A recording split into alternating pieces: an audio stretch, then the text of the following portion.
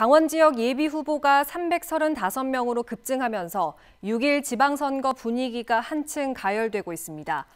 강원도 선관위에 따르면 지금까지 강원도 교육감의 8명, 강원도지사의 3명의 예비 후보가 등록했고 원주시장 6명, 영월 군수 3명, 횡성 평창 군수 각 2명 등 시장 군수 선거에 64명이 등록을 마쳤습니다.